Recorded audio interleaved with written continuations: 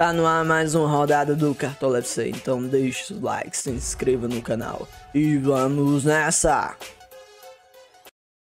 Mitamos, galera! Novamente pela quinta rodada consecutiva, mitamos em ambos os times, tanto no time do canal, no time principal, como no time tiro curto. No time tiro curto, pela sexta rodada consecutiva, que passamos dos 100 pontos, galera. Novamente acertamos o SG, postamos aqui, ó, no Palmeiras, no SG do Palmeiras. Palmeiras conseguiu manter o SG. Vamos com o ataque do Flamengo, meio campo do Palmeiras e novamente passamos dos 100 pontos. Mas antes de tudo, quero saber a pontuação de você. E aí, mitou, zicou, colocou Scarpa, colocou o Veiga de capitão, Gabigol, com certeza sua pontuação foi boa. Se não foi, vai recuperar na próxima. Segue as dicas aí, comentem a pontuação de vocês aí abaixo. Bora lá pro site do Cartola. Eu tô igual jogador de basquete, tô quente, galera. Quatro rodadas seguidas imitando no time do canal, seis rodadas imitando no time tiro curto. Então, jogador de basquete, quando tá quente, os companheiros sempre buscam ele. Então, busquem a mitada, busquem Busquem seguir minhas dicas, assistam o vídeo até o final, se inscreve aí, partiu. Então bora lá pro vídeo. Ó galera, por enquanto ó, minha pontuação tá 87.91, mas a pontuação aqui do Gabigol, que era o meu capitão, vai aumentar, então com certeza a gente vai pra em torno ali de 90 pontos. Estamos aqui no site do Cartola FC, vamos começar o nosso time pelos atacantes e o nosso primeiro atacante será o Gabigol da equipe do Flamengo. Terá um confronto contra o São Paulo. São Paulo aí tá na zona de baixo, tá lutando para não cair, mesmo a chance sendo mínima, ainda tem chance e terá um confronto equilibrado contra o Flamengo. O Flamengo é um pouco freguês para são Paulo, mas acredito que será um jogo de bastante gols, jogo aberto, jogo entre São Paulo e Flamengo sempre é um jogo aberto de muitos gols e com isso Gabigol pode se destacar já que é o cobrador de pênaltis e também é um artilheiro do time. Também vamos aí com o Arthur do Bragantino, que será o nosso capitão. Terá um confronto contra o Fortaleza, jogo em Bragança Paulista e o Arthur é o principal jogador da equipe do Bragantino,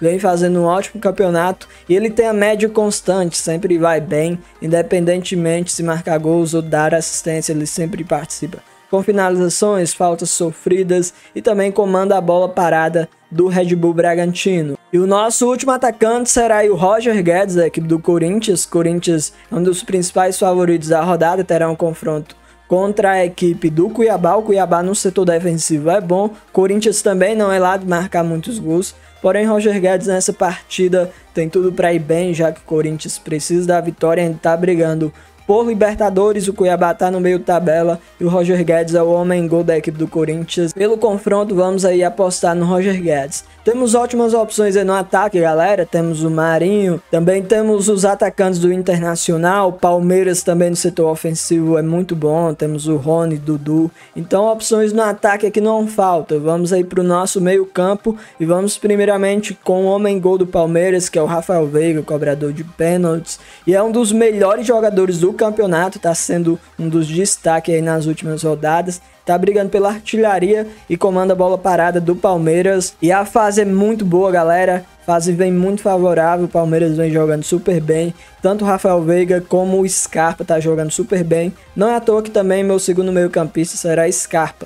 Assim como na última rodada a gente mitou com eles, novamente eu vou dobrar o meio campo do Palmeiras. E aí tem um fator lei do ex, hein?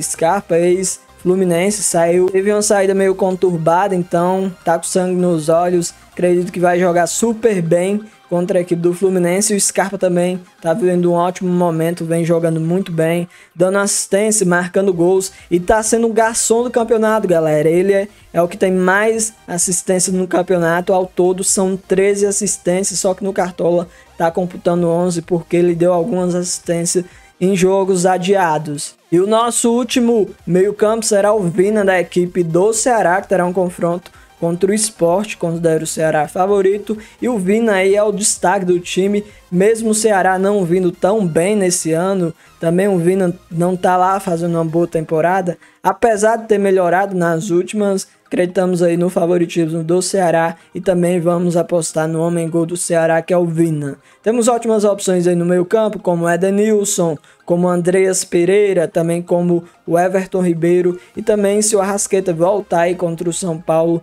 se torna uma ótima opção. Agora vamos aí para nossa zaga. Na zaga eu vou com o Vitor Cuesta da equipe do Internacional. Tem tanto o Vitor Cuesta como o Bruno Mendes, são boas opções. Porém, optei aí por Vitor Cuesta, porque quando ele atua no Beira Rio, ele costuma ter espaços, costuma atacar. Não é à toa que já tem algumas assistências nesse campeonato. Por isso, vamos aí com o Cuesta acreditando no favoritismo do Internacional contra a equipe do Atlético Paranaense. O Atlético Paranaense, acredito, vai até poupar alguns jogadores, já tá pensando aí na final da Sul-Americana diante do Bragantino. E o Atlético Paranaense não tem mais pretensões alguma, galera. Tá lá no meio do, da tabela, não tem mais chance de ir para Libertadores, mas também não tem mais chance de não tem mais chance de ser rebaixado. Então acredito que o, o Internacional leve um certo favoritismo nessa partida e tenha potencial de manter o SG. E o nosso último zagueiro, vamos aí com o João Vitor, zagueiro da equipe do Corinthians, acredito muito no SG do Corinthians, e o João Vitor, de todos os zagueiros do campeonato, tá no top 3 de mais desarmes, galera.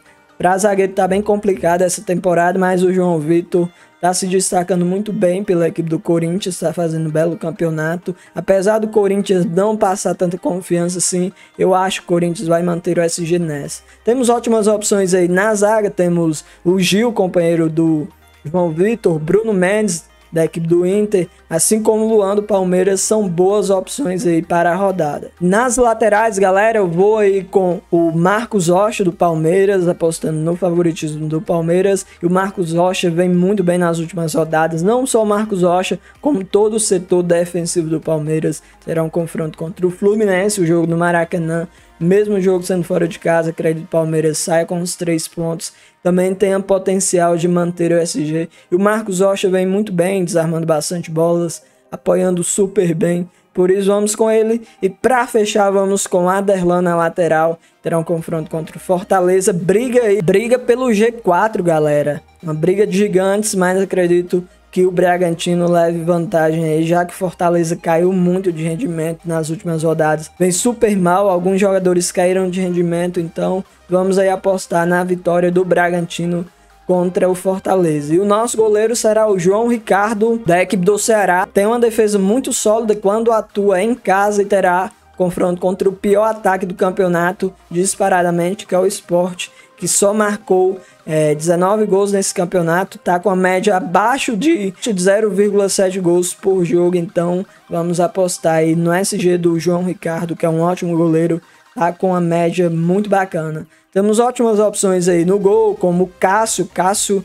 uma ótima opção para quem quer ir com ele.